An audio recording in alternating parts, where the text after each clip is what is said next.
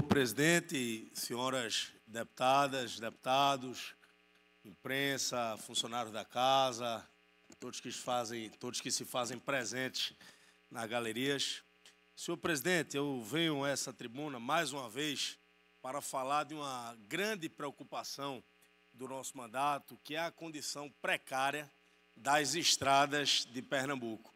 Infelizmente, o nosso estado é um dos estados do Brasil com as piores estradas é, e realmente isso tem prejudicado muito a economia do nosso estado. Eu estive na cidade de Itabira, no sertão do Pajeú, onde conversei com todo o nosso grupo político é, no município, com o presidente da Câmara, Valdemir, com o vereador Vianney, com o vereador, Val, com o vereador Edmundo Barros, com a vereadora Ilma e também com a nossa pré-candidata vereadora Genedi.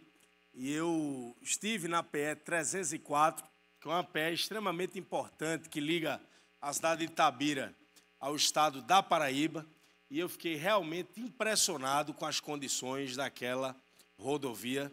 Realmente está intransitável.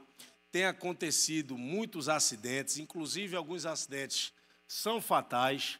São 12 quilômetros pertencentes ao estado de Pernambuco na PE 304.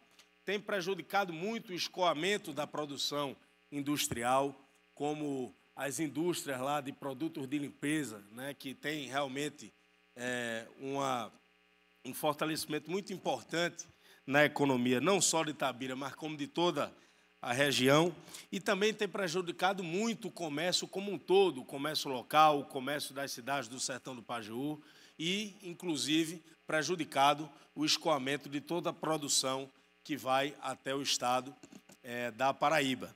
E também tem prejudicado muito uma das maiores feiras de animais, né, uma das maiores do Nordeste, é, naquela região.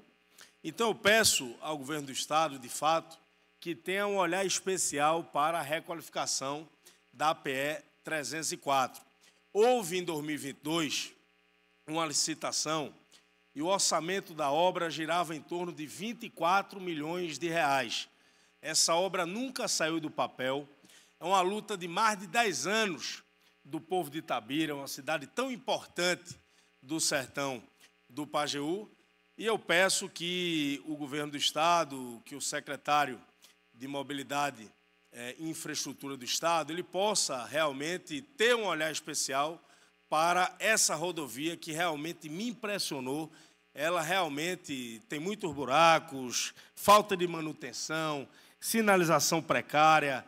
Realmente eu posso precisar que é que está entre as cinco piores rodovias de Pernambuco. Então, de fato, eu vou ao secretário é, justamente para ter realmente uma resposta do governo de quando essa obra vai sair do papel, porque realmente tem que ser colocada como prioridade e eu vou lutar muito para que ela possa sair do papel, porque ela não só prejudica a economia do município de Itabira, mas como de toda a região do sertão do Pajeú, que é uma região tão importante economicamente para o nosso estado. Então vou é, cobrar, senhor presidente, é importante que essa peça seja requalificada.